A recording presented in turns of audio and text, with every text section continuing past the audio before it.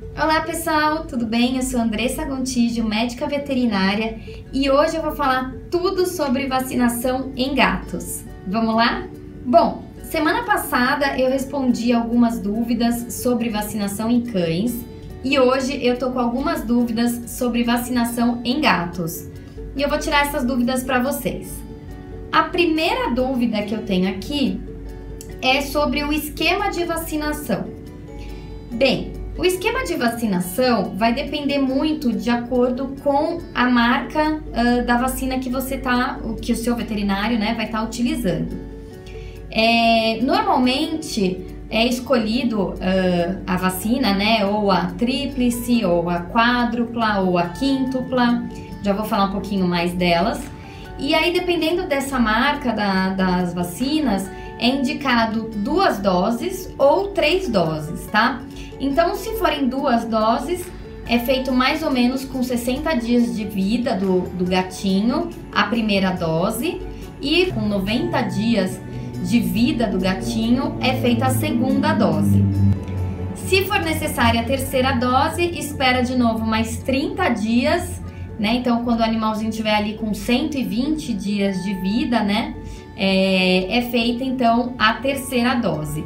E próximo a essa data aí dos 120, que dá aí uns 4 meses é, de vida do gatinho, é feita também a antirrábica. Próxima pergunta é: o que essas vacinas protegem? A tríplice vai proteger contra a panleucopenia, a calicivirose e a rinotraqueite, tá? Que são doenças comuns nos felinos. A quádrupla, ela vai proteger contra essas três que eu falei e mais a clamidiose. E a quíntupla vai proteger contra essas quatro e mais a leucemia felina, que é a famosa FeLV.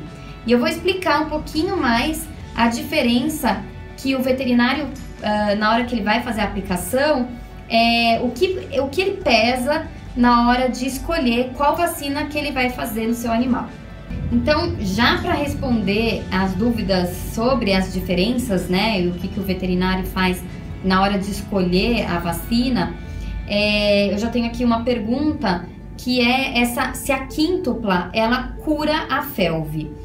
É, bom, a quíntupla ela não cura a felve, tá? A felve ela é uma doença que ela, ela pode ser uh, passada de um gato doente, né, um gato contaminado com a felve, para um gato sadio através do contato com a saliva, tá? Então, um animal que está contaminado, ele morde ou ele lambe é, a ferida, alguma coisa de um animal sadio, e aí ele passa a felve para esse animal. Então, a felve ela é bem complicada. Uh, de repente eu gravo mais para frente um, um, vídeo sobre FIV e felve, né, que são as conhecidas duplas aí.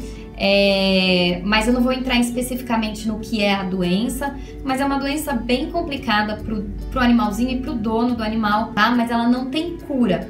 E a vacina não vai curar a felve, tá? Ela vai prevenir. Aliás, toda vacina faz prevenção de doença e não cura, não tratamento de doenças, tá? Isso é bem importante ficar claro para vocês. Porém, o que, que acontece na hora da escolha da vacina que o, que o veterinário for fazer? Normalmente, quando você leva o seu gatinho numa clínica veterinária, você vai notar que o veterinário ele vai sugerir a aplicação ou da tríplice ou da quádrupla. E aí você vai me perguntar, por que não ele já não vacina a quíntupla? Já que a felve é tão perigosa para o gato, por que, que ele já não vacina da quíntupla, com a quíntupla, né? É, existe alguns estudos mostrando uh, o risco da, da quíntupla, né? O risco de, uh, de causar um tumor, um tumor, um sarcoma, um tumor bem perigoso uh, nos felinos. Então, os veterinários, eles evitam ao máximo é, aplicar a quíntupla se não tem necessidade da aplicação da quíntupla. Quando que vai ter necessidade da aplicação da quíntupla? Por exemplo, um gato que fica muito na rua, né? Um gato que fica muito por aí em contato com outros felinos, ou um gato às vezes uh, de gatil, de ONGs, é, às vezes vai ser mais interessante a aplicação da quíntupla realmente para proteger é, dele pegar a felve. Mas se o seu gato, você fez o teste de felve, ele não tem felve, e ele é um gato de apartamento, um gato que não sai, não tem necessidade realmente de fazer uma quíntupla, tá? Porque o risco de um, de um sarcoma é, é grande, tá? E, e o sarcoma é bem agressivo caso o seu animal desenvolva, tá? Então é por isso que o veterinário na maioria das vezes, acaba fazendo uma aplicação de uma tríplice ou de uma quádrupla no seu gatinho, tá? É importante dizer que o sarcoma ele não vai uh, acontecer somente na quíntupla, tá?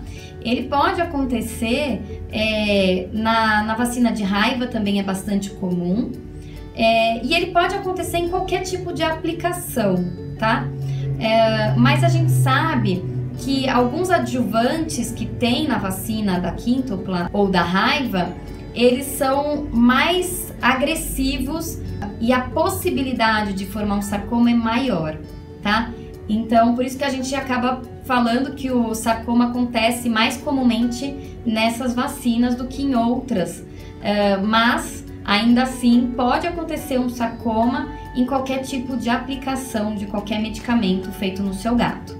É por isso também que muitas vezes essas vacinas elas são feitas uh, em, em, patas é, traseiras ou até mesmo na região da cauda do animal. Porque caso ele desenvolva um sarcoma, é, ele pode ser amputado esse membro, tá? Porque dependendo uh, se for se demorar muito para descobrir o sarcoma, ele é um tumor muito agressivo. Então, para não espalhar, né, não ter uma metástase, não espalhar, é retirado muitas vezes a pata do animal ou até mesmo a cauda do animal. Devo vacinar anualmente meu gato, mesmo ele não saindo de casa? Bom, isso é muito de veterinário para veterinário. Eu sempre falo para vocês conversarem com o seu veterinário para que ele diga para você qual é o esquema de vacinação que ele vai fazer. As vacinas, elas são anuais, tá? Depois que você faz o reforço, quando ele é filhotinho, que você faz essa primeira dose, segunda dose, às vezes até uma terceira dose, depois desse, desse primeiro, dessa primeira vacinação, você vai fazer o que a gente chama de reforço anual. Então, todo ano você vai aplicar a vacina no seu animal. Só que, dependendo do veterinário e dependendo do estilo de vida do seu felino, eles nem indicam que você faça é, a vacinação de forma anual, tá? Então, tem vezes que o veterinário faz, fala, olha, faz daqui três anos, porque seu gato nunca sai de casa, não tem contato com outros gatos de rua, então não tem necessidade, tá? Então vai muito de veterinário para veterinário. Posso pôr o meu gato em contato com outro gato sem que ele te, esteja com todas as vacinas? Olha, é, é a mesma resposta que eu dei para cães, né? Se você tem muita certeza desse gato adulto, né? Desse gato que, que é o primeiro gato ali que você vai pôr em contato com o seu filhote, né? você tem muita certeza da saúde desse animal, você sabe que ele está livre de felve, de FIV, de todas essas doenças é, bem perigosas uh, ah, para felinos, eu não vejo nenhum problema nesse contato de um, de um filhote sem todas as vacinações. Porém, como muitos gatos é, vêm de, de, da rua, né? São adotados da rua, uh, vieram de alguma ONG, alguma coisa do tipo, é comum que eles já venham, às vezes até está incubado, ele não está desenvolvendo nenhuma doença, mas está incubado ali nele. E você não sabe, né? Você até fez algumas vacinas, como vocês viram, são poucas doenças que essas vacinas pegam, né? A, a quíntupla só pega cinco doenças. Tem outras doenças aí que a gente não tem uma vacina. Então, é, tem que tomar bastante cuidado nessa, nesse primeiro contato do, do felino, do gatinho, é, do gatinho que chegou. E você também tem que tomar cuidado com o seu adulto que está em casa, né? Porque às vezes esse filhotinho, ele tá vindo com alguma doença que as vacinas do seu adulto não pegam, tá? Então você também tem que fazer um teste é muito importante você fazer um teste é, no gatinho que está chegando, no seu gatinho que você já tem, para ter certeza de que eles não têm nenhuma doença contagiosa, nenhum risco aí maior. É, e mesmo fazendo a vacina desse filhote e tudo, você ter tranquilidade de pôr esses dois juntos e eles não pegarem nenhuma doença um do outro, tá? Então, antes sempre de adicionar um animal novo na sua casa, passe com ele pelo veterinário, converse com o veterinário, veja quais os testes aí que devem ser feitos para você ter certeza mesmo do que você está fazendo e que essa junção não seja mais prejudicial é, do que boa, né? Não tenha aí problemas e, e seja uma, uma junção positiva. Devo fazer o teste de FeLV antes de vacinar com a quíntupla? Então, eu acho que é bem interessante fazer o teste de FeLV antes de você vacinar com a quíntupla. Isso porque, se seu animal já tem FeLV, não tem por que você vacinar com a quíntupla. Como eu falei, não vai, uh, a vacina não vai curar né? E é uma vacina, como eu também já falei, de risco, né? Tem aí um risco, por exemplo, de um sarcoma. É, então, para que, que você vai vacinar contra uh, uma, vai fazer uma quíntupla, né? Vai pegar a felve. Se você pode fazer uma quádrupla, que também tem o risco do sarcoma, mas menor, né? Mas é, você não tem, ele não, ele não tem necessidade de fazer a felve porque ele já tem a felve, né? Então, uh, eu acho interessante é, fazer o teste para saber se seu animal tem felve ou não. É, e também ver essa coisa do estilo de vida do gato. Se é um gato de dentro de casa, sem felve, eu também não, não vacinaria com a quíntupla, tá? Eu faria uma tríplice ou uma quádrupla, tá? Agora, se é um gato sem felve, com vida muito livre, que fica uh, pela rua, aí realmente acaba sendo interessante fazer a quíntupla. Posso vacinar a minha gata grávida? Olha, não é legal vacinar uh, animais quando eles estão prenhes, tá? Então, eu esperaria, é, é rápida, né? A, a, gestação de uma gata é muito rápida. Eu esperaria passar a gestação e fazer a vacinação depois uh, que os filhotinhos já tiverem também parado de amamentar. É, aí você vacinaria sua gatinha, tá? Gato adotado adulto que eu não sei a procedência, se já teve vacinação ou não. Como vacinar?